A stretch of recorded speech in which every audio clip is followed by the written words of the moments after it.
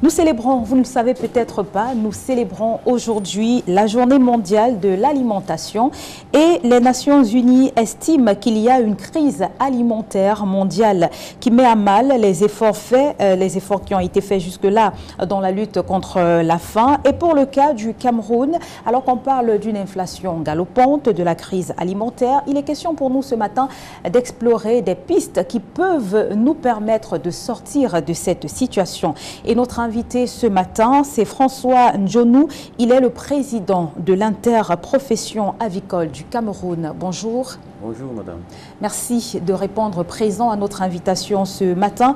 Et donc ce matin, je le disais à nos téléspectateurs, à la faveur de la journée mondiale de l'alimentation, nous parlons de la crise alimentaire au Cameroun et davantage dans votre secteur. Vous qui êtes dans le secteur euh, avicole, euh, vous euh, avez, le secteur a connu, il faut le dire, hein, un certain nombre, une série de facteurs qui ont contribué à mettre en difficulté la filière depuis des années, des mois, des semaines est-ce que vous pouvez nous expliquer cela? Oui, madame, merci pour la question. Euh, il faut savoir que la filière avicole, depuis quelques années, a connu beaucoup de difficultés jusqu'aujourd'hui, qui continue jusqu'aujourd'hui. On a commencé par la, en commençant par la crise du Covid. Vous mm. savez, pendant la crise du Covid, euh, nous, nous, ne pouvions pas importer certaines matières premières essentielles d'Europe. Et il y a beaucoup d'agriculteurs qui ne pouvaient pas cultiver le maïs, par exemple, qui est la principale matière mm. première qui rentre dans la composition de l'aliment. En Amérique du Sud, d'où proviennent par exemple les couteaux de soja, il n'y avait pas eu de culture.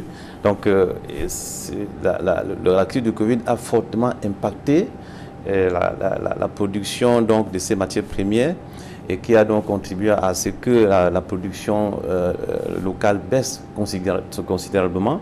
Il y a eu, après la crise de Covid, euh, il y a eu cette guerre qui a commencé en Ukraine et qui continue jusqu'aujourd'hui, et avec son corollaire qui est la flambée des matières premières, parce qu'en fait, tous les prix ont augmenté. Et tous les prix, toutes les matières premières, jusqu'au coût même de du fret, parce que vous savez, dans le, le coût du fret dans le bateau a augmenté de plus de pratiquement 60% euh, de certains pays.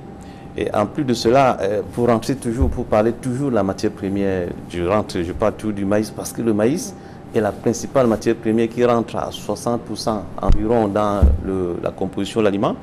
Le coût de, ce maïs a doublé, hein, a même plus que doublé, parce que, euh, vous savez, le maïs coûte en général autour de 160 francs le kilo, 170 francs.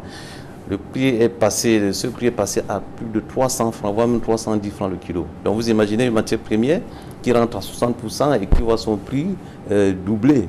Donc vous imaginez l'impact sur le, le, coût de revient de, l'aliment et donc du produit final qui est l'œuf ou bien le, poulet. Donc il y, a eu, il y a eu tout cela, il y a eu sans oublier la, crise de grippe aviaire donc, qui, a, qui a aussi euh, fortement impacté nos activités depuis ces dernières années. Et aujourd'hui, il y a des, le Camerounais lambda ne peut pas facilement aller dans une boutique du quartier se procurer des œufs. Les œufs ont connu une hausse euh, considérable ces derniers jours notamment. Est-ce que c'est dû à tous ces facteurs que vous venez d'énumérer? Oui, en fait, ces facteurs ont beaucoup joué sur le prix de, de revient de l'œuf. Il faut même dire hein, que en fait, euh, ce que vous observez sur le marché comme prix aujourd'hui n'est pas le juste prix. Parce qu'en fait, si on voulait répercuter les prix des, des, intrants, les, prix des intrants, le coût des intrants sur, ou bien de l'aliment si vous voulez, mm. sur le coût de revient du poulet ou bien sur le prix de vente du poulet, la ménagère ne devait pas être capable d'acheter son, son œuf. Donc euh, jusque-là, euh, l'agriculteur il supporte énormément le coût hein, parce que Aujourd'hui, sur le marché, l'alvéole d'œuf coûte environ autour de, 2400 francs. Euh, normalement, il devait coûter au moins 3500 francs. Au moins 3500 francs, il faut le dire. Donc, aujourd'hui, on travaille, on, essaie d'être un peu résilient, on essaie de ne pas vendre trop cher, on essaie de tout faire pour que euh, l'œuf soit toujours disponible sur le marché. Donc, euh, voilà, il faut dire que il faut absolument qu'une solution soit apportée pour qu'il y ait euh, l'œuf sur le marché à un bon coût. Hmm. Et les besoins sont aujourd'hui de 10 millions de têtes de poulet au Cameroun. Or, on n'en a que 6 millions. Ce gap-là, euh, peut-on le contrôler et comment? Est-ce qu'on peut avoir euh, des détails? Oui, oui, oui. En fait, euh, on est aujourd'hui à près de 6 millions de têtes. Donc, en termes de cheptel de, de, poules pondeuses dans nos fermes, on est à autour de 6 millions. On pouvait faire le double, en fait. Hein. La demande est même un peu autour de 10 à 12 millions, si vous voulez. Et on approche des fêtes de fin d'année. On approche des fêtes de fin d'année, c'est vrai. Mm. c'est vrai.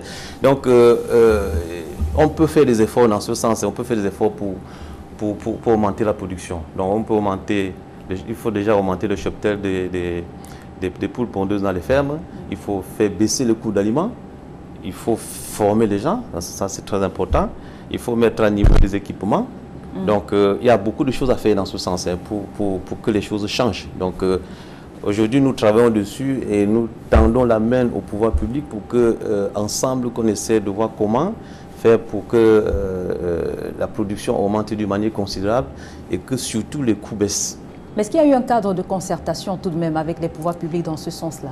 Oui, oui, vous savez, euh, de toute façon, nous sommes déjà organisés au sein d'une interprofession mm. et c'est une plateforme qui permet euh, la discussion avec le gouvernement. Donc, euh, nous sommes en discussion avec le ministère de l'élevage, des pêches et des industries animales, bon, qui est, il faut le dire, hein, qui est un ministère technique. ce n'est pas ce ministère qui finance mm. les projets dans l'agriculture ou bien l'élevage mais par le biais de ce, ministère, nous discutons donc avec euh, le MINEPAT et, le MIFI. Donc euh, au MINEPAT, il y a une cellule qui est chargée donc, euh, de, discuter de ce genre de problème qui est, qui est le comité de compétitivité. parce que c'est une cellule qui est chargée donc, de, de voir les, les, blocages dans les différents secteurs comme le secteur élevage et voir comment faire des propositions avec, avec les acteurs de la filière nous, on se réunit avec eux, on discute, on propose des, idées et pour amener le gouvernement donc, à nous aider, donc à, mettre les moyens pour que la filière avicole, euh, pour, pour qu'elle s'épanouisse. Hmm. L'œuf, tout comme euh, le poulet, ce sont des aliments de, grande consommation.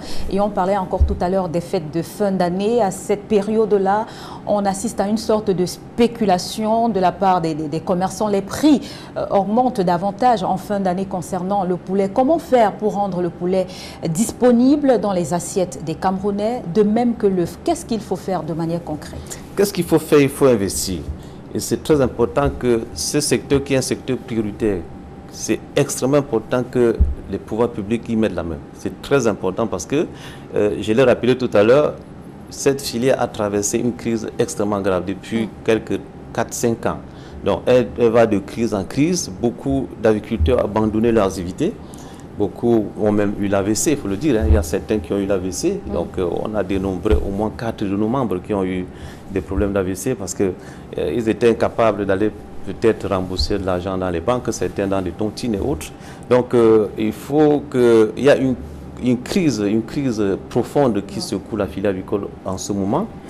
Donc euh, nous tendons la main au pouvoir public. Vous vous souvenez, en 2006, quand il y a eu la, crise de grippe aviaire, le gouvernement a mis un peu de moyens dans l'interprofession, surtout à travers euh, les accouveurs qui ont augmenté, qui ont eu un peu de moyens pour mettre en place des reproducteurs.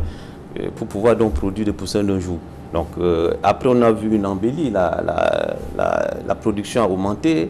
On est passé par exemple de, en, près de trois ans de, près de 50 millions de poulets à plus de 80 millions de poulets par an. Donc, euh, et, en production de fossiles, on est passé à l'époque d'environ de, près de 4 millions hein, à 8 millions. Donc la production de, en, en, ponte avait doublé. Mais aujourd'hui, le cheptel a régressé euh, passer de 8 millions à 6 millions à cause de ces différentes crises. Donc il faut, moi je pense qu'il faut absolument que le gouvernement regarde ce secteur avec beaucoup d'attention.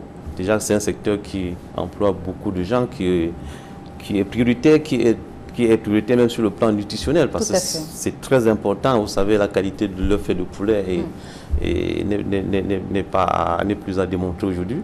Donc, je pense que euh, le gouvernement devait regarder avec beaucoup d'attention ce secteur. D'accord. Alors, on va vous remercier hein, simplement d'être venu ce matin, apporter des éléments de, précision, alors qu'on parle euh, de l'alimentation aujourd'hui dans le monde de manière euh, générale. Merci. Merci, moi qui remercie, madame. Merci.